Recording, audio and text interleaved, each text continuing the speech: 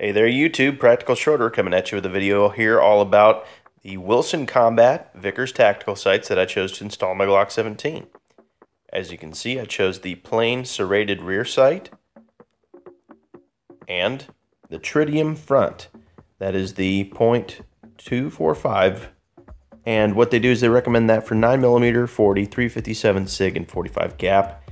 The uh, 45 and um, 10 mil have another one they do include this tool here in case you think you're going to need one. Okay, so quick safety check, standard Glock disassembly, take the weapon down. And what we're going to do here is we're going to go ahead and tear into the front sight using the supplied tool.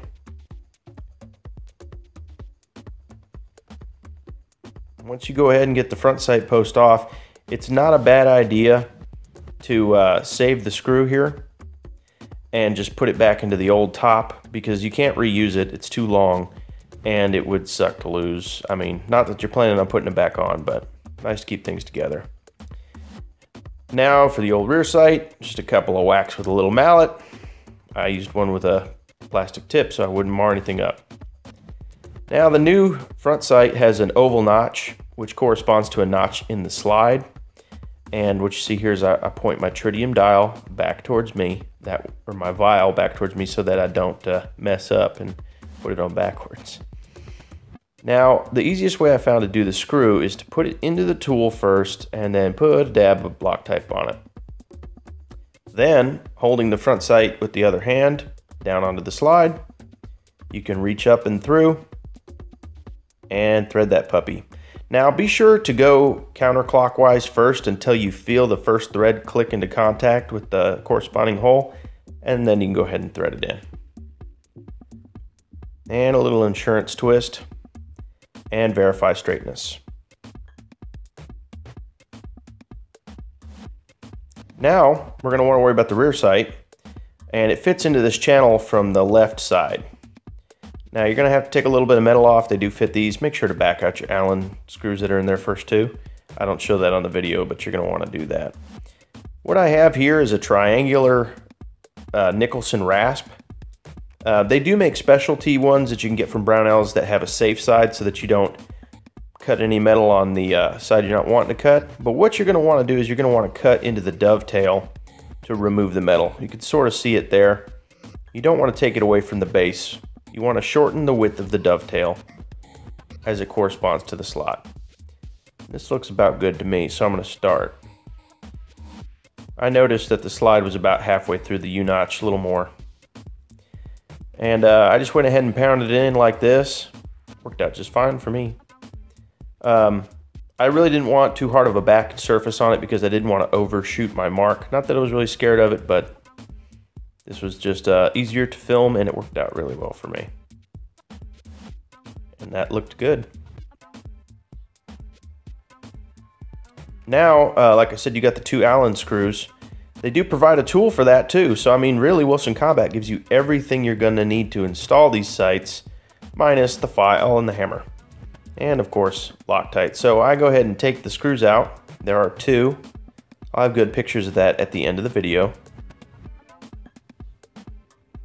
One and two. Now what I did is I just set it on the end of the Allen key. Put a little bit of blue Loctite on it. And then just run it back down in. About finger tight. I just put the extra Loctite there on the other screw. You couldn't see that on camera. But you just run it down in. Again, making sure to back the screw out first. Then once you feel it seat, then you can go forward. Really sucked across thread on a $50 sight. And again, with the second screw. Loctite, back it out till it seats, and then drive it in finger tight.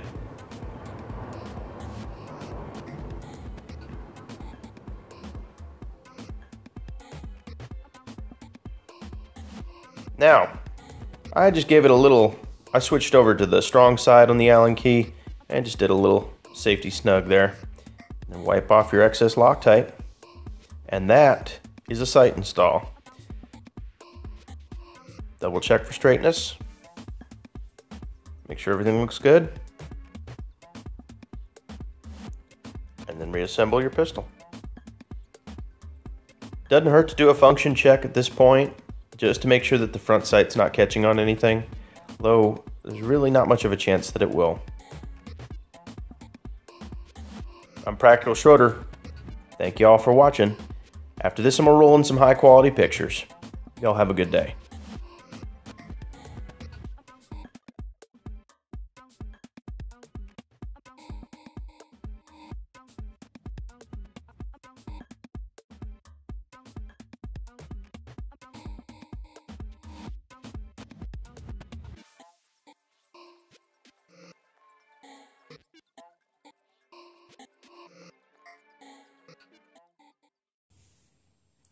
So take my little screw here.